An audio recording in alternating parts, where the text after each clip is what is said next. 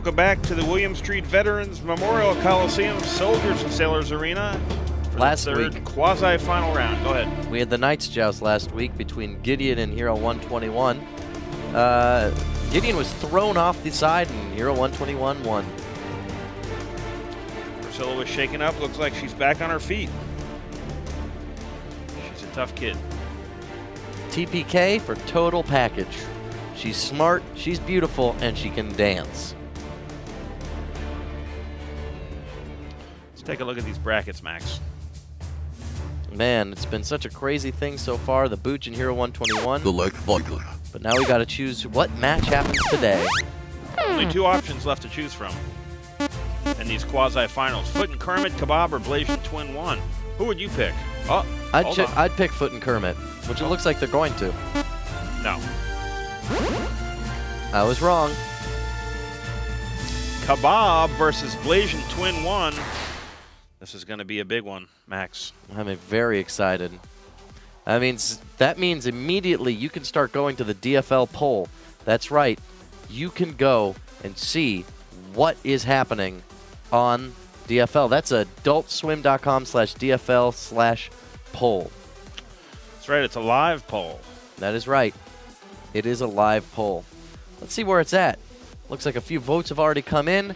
It's 67 versus 33. Max, I want to point out to you that this is not merely Atlanta voting. It's not merely the U.S. Mm-hmm. This is a global fight show. These votes, these calls are coming in from around the world. This is non-geo-filtered international entertainment, the Daytime Fighting League.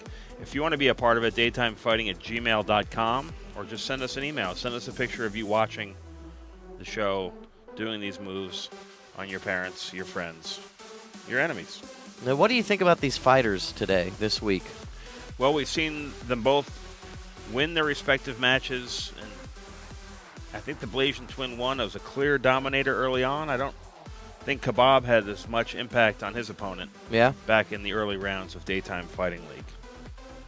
Uh, if you had if you had to lay your money on one of these guys, Max, who would it be right now? Well, honestly, it's hard to tell for me completely, uh, but I remember I remember quite fondly Kabob's enthusiasm. He had a great tiger leap at one point, and he just took these man down, an older man, twice his size. Winky. He dominated Winky, uh, but it was a close fight.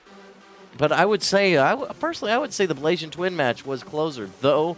Um, Blasian Twin one took out there. I think it was just a couple of slip ups that really got him in there. And you'll remember who Blasian Twin one fought. That's right. He fought Blasian Twin number two. I gotta, I gotta wonder if Blasian Twin Two is in the building today, rooting on his brother, or just coincidentally showing up there because that's how twins operate. Well, looks like people do vastly prefer Blasian Twin number one. He's a bigger, bigger guy, Stronger. stronger guy. People remember how strong he was. But Max, the thing is about daytime fighting league, strength doesn't always matter. Sometimes it's reason Mm. that gets you through the fight. Well, and sometimes, you know, you really got to get to know these fighters before you can really, uh, really think who's going to be the winner. I mean, of course, we have seen these guys before, but uh, a little reminder would go a long way. Do you agree? Yeah, Max, I do agree. Uh, later on, we'll be taking some calls at this number, but right now, our fighters are entering the backstage area. They're about to find out exactly what kind of fine mess they've gotten themselves into. Yeah, that's right. We have to find out what today's match is through the random match selector, RMS. They keep getting a little bit crazier. Simple title last week of Night Joust. Nobody could foresee that kind of devastation. There's only one, two, three, four, five fights left. Could be those jean shorts. It could be that little demon.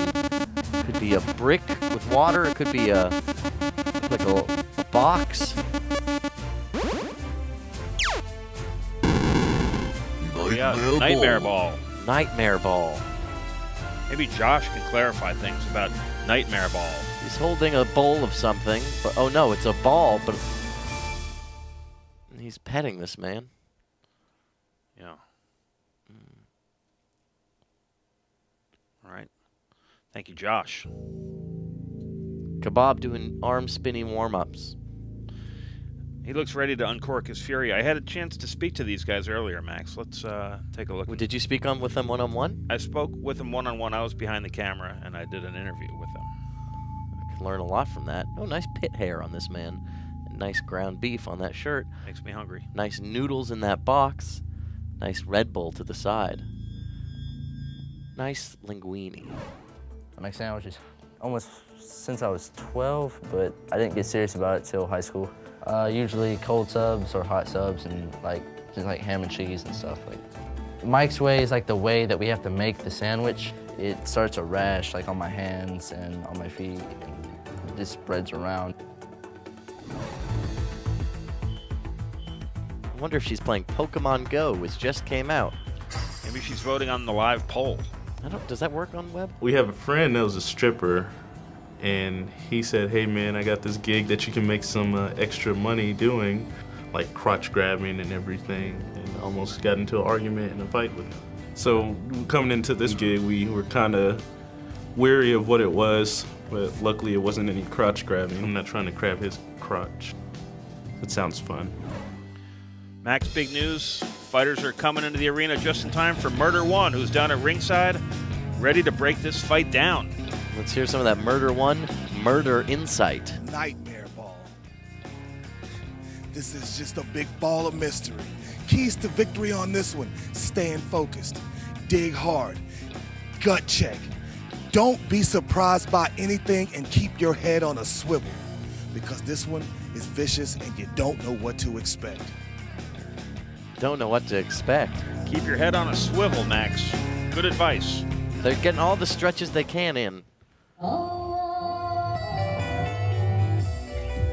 Avid viewers will recognize this as Blasian Twin Number One's theme song. Dressed in uh, regular attire. Nothing special. Oh, Blasian Twin's mother is there. I don't think that's his mother. Might be his opponent's mother. See that look? Almost like he was surprised. Oh, this this butterhead showed up. This little butterhead. No costumes, Max. Why does this make me nervous? Because you're worried about full contact violence. Ever since you got that bruise on your head. I don't know. These guys look a little nervous to me, too. Cobb's Kabob's very aloof. Let's see some stats, huh? Kabob. Let's see his stats. He's 19 years old, 130 pounds, and an Aries. Sign of the. I don't know what it is. Is that a bird? And of course, Blasian Twin number one. 23 years old, 198 pounds, and a librarian. Sorry, I meant Libra. I like to take the words out of context. Phone lines are open, Max. Let's uh, take another look at our live poll. Let's see how the votes are going. It really uh, has not really changed much at all. People's opinions are pretty gosh darn set at Blasian Twin number one being number one. That means these votes are coming in at a similar ratio as they were before. I'm getting all kinds of emails. The servers are exploding with fans across the globe What are they saying? weighing in. Uh, let's say I'm reading uh, on the chat right now. Even Butterhead, I hate his taco face. Says Backdoor Man 69. And Permanent says winner gets mother. Jeez. Um, Uh, Lee Wilson says this might be the best thing ever. Keep it up. I got that in an email. Brave Meatbrick said Blasian 1 absorbed 2's power after defeating him, and now he's stronger. Daytime Fighting League. What's your name? Where are you calling from? Lee works at What do? Canfield. Hello, my name is O.J. Bates, and I come from Chicago, Illinois. Yes, sir, Oche. Who do you So like? I'm voting. Huh? Who do you like in this fight? I'm voting for the other guy. Oh, the other guy. I would have thought Yeah. that you'd have one of these guys. Well, Kabob is one of the good guys. You know that. Yeah. What do you mean by that? What do you mean by Kabob is one of the good guys? And we know that. Well, he's a good fighter, and um, I want to know that he always fight everybody on there. So, being a good guy is fighting everybody on there? Yes. You know it. You are sound like a true daytime fighting league fan. Your money's on Kabob. Who are you looking to take Yes, this whole I am a- championship? Yep, I watch it every day. I watch y'all, y'all stream every day. Who are you going to root for in the final championship of this daytime fighting league? It's, we're just a couple weeks away from it. Well, well, whoever fight and win the championship, I'm going to see and find out But who do you think? who's on the championship. Well, we don't know. It could be Kabob. It could be Blasian Twin number one. It could be Booch. It could be Hero 121. It could be Foot. It could also be whoever Foot's fighting, Kermit or something. Kermit, right. Who do you like? I like the foot. The foot. This this guy's Yeah. money's on the foot. Why is your money on the Foot for in the end? Well, if the foot wins, I'll be happy And Why will you be happy? because I'm the biggest fan of the foot, and I want to see if the foot tags over the booch or kabob. Well, you'll have to stay tuned for Daytime Fighting League semifinals, finals, which start next week. Now it's time to go back. Thanks for calling. But before we go back, Max, let's take a final look at our poll. Let's Thank take a you for look. calling. Okay. I also have, it hasn't changed. It's still 65 35. That's wild. But I, I also talked with Hero 121 a little bit to hear what he had to say about this. Do you guys want to take time to maybe uh, watch that before we go rushing into violence all the time? Show it, Max. Okay. Man, the foot is kind of like Booch, but bigger and blacker. Does that make sense? This is your boy, Hero 121. This is your DFL cutting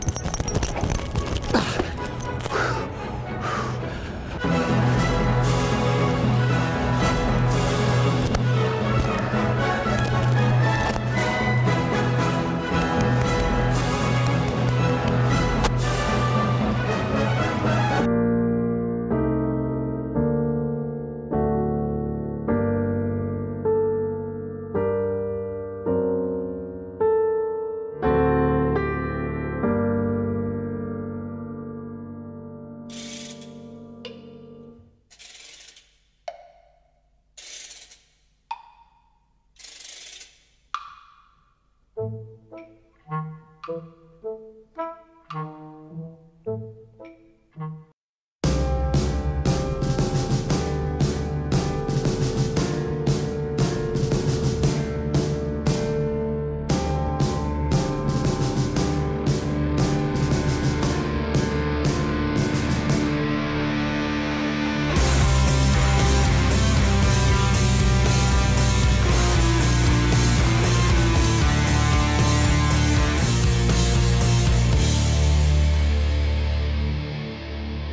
If you look at your fingers and then look at a turtle's neck, look how look at the comparison. Look at the lines of how things match up. With a turtle, it kind of freaked my fingers remind me of turtles' necks. That's right.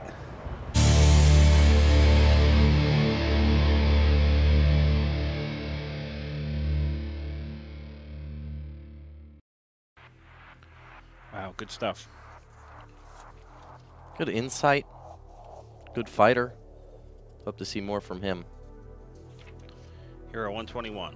What's the next round called, Max? Is it the semifinals or the finals? Semifinals. Okay. Last look at the poll. It's, it's not changed at all. I don't know why people. It's for every two people voting Blasian Twin, one person's voting Kabob. Anything can happen. The arena's about to explode. The people can't take it anymore, Max. Let's do this. Everyone is excited. Let's see what this nightmare ball has in store for us. Here they come. They look nervous, Max. Take a look. A darkened ring. But there's kabob right there in the taco top. Never got a good look at that ceiling before, I just noticed. I'm sorry. A plastic tarpaulin stretched across the canvas. Have we seen that before? I don't think so. A little bit of anxiety up here in the booth. That must be the nightmare ball. Okay. The first competitor to reach the golden baby will be the winner. Ready.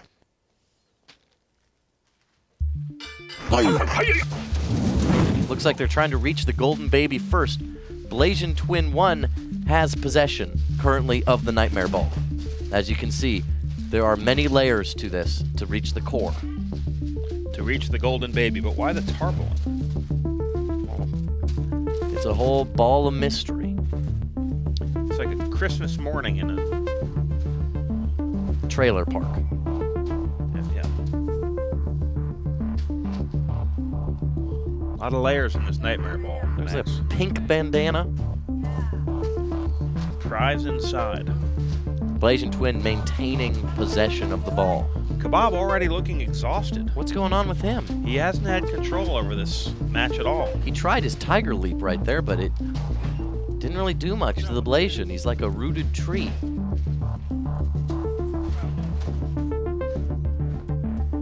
Now they're just hugging. Blasian Twin one in control of the ball, in control of the fight. That's probably what's going to get him a victory, no matter how long it takes if he stays in possession. Oh, oh, it's gone over to Kabob. He has reached around underneath and he's gotten the ball, Matt.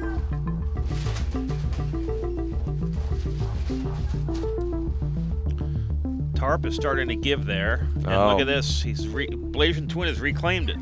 It's kind of like Kabob right now is a little toy. There he is.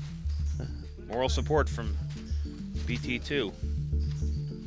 Look at this, Max. Look at this octoblock technique. That's a the whole layer is now gone. We have shed a layer.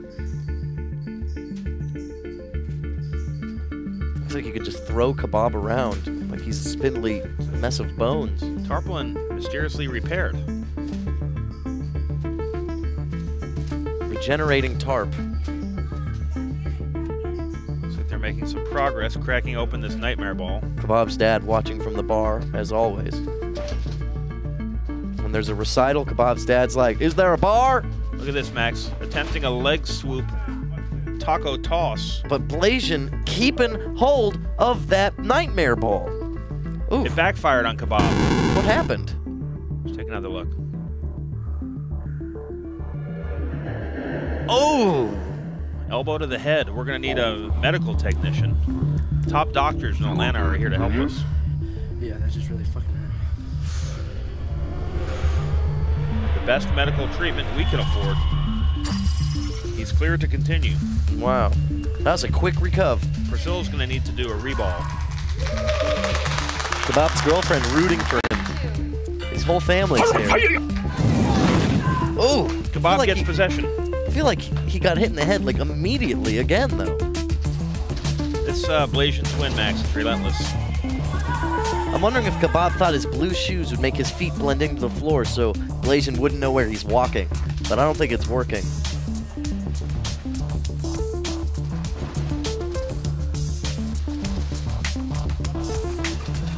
Oh, a steal. BT regains possession. Mama Kabob not happy. Ripping off layers, ripping off layers. I'm seeing Oh, a layer's gone. I'm seeing noodles. Noodles in the ring, Max. That's not a nice thing to call Kabob's legs. Putting noodles on his head. What does that accomplish? That just seems goofy. Humiliating him, but Twin laughs it off. He just wants to get to that golden baby. He knows what the important thing is the golden baby. Ooh, baby. Oh, Oh, ooh, oh god, it's like a pimple. we have liquid. What kind of liquid that is, anyone's guess. Could be Karo. There's barely any layers left on this ball. They're getting to the middle of the nightmare. There's golden glitter. Does that mean we're closing in on the golden baby? I'm assuming so, because at the core of a nightmare is a golden paradise. Look at those beautiful hands. Bet they could work wonders on your calves. Bob with a steal. Oh gosh, this is what counts though. He's getting got the baby. last balls. Or is there another layer to this nightmare ball? Does he have the baby? He's trying to get his little tiny white boy fingers in there, but I don't think he's gonna do it. Mama Kabob's on her feet. Blasian Twin not letting up on the gas. No, he's not going, oh geez, I lost it last minute. No, he's in there wrenching his wrists around that thing. What is that? A They're both pushed to the limits in pursuit of this golden baby. Who's going to run out of gas first, Max? oof. I think it's gonna come on down to who's who's on diesel. It's a re-steal. Kabob takes it back. no, Blasian he Twin has loses the it. last second takeaway. Oh, it's Kabob giving up? The baby's out. end. The baby is out. The golden baby is out. For some laser persuasion. Winner, Blasian Twin number one. This Twin had more stamina, Max. The nightmare's over. Get down there. I Want to hear from our winner. Do you think it's weird when adults take baths? Sometimes, but I think it's necessary when they stink. Can I just Like instead of a shower, though. Oh, no, um, well, no. So I need a bath right now. That's why you're rubbing. Do you know in baths, you know, you're like sitting in your own dirt? Is it not, do they work? Yes, it, fo- it exfoliates the skin very well.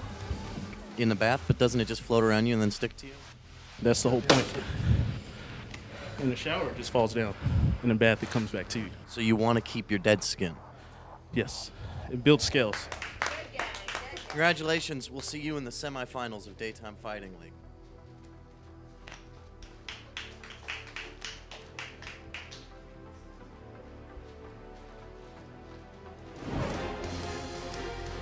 Blasian Twin One. He's the real deal. In two great fights, he's proven to be unstoppable. That eliminates Kabob from the lineup. Our condolences to Kabob. Preliminary condolences to uh, his upcoming opponent, the Booch.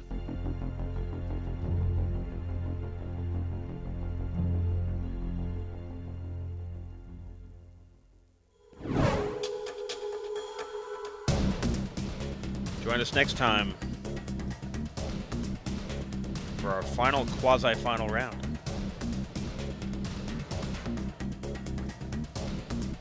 Thanks for watching Daytime Fighting League.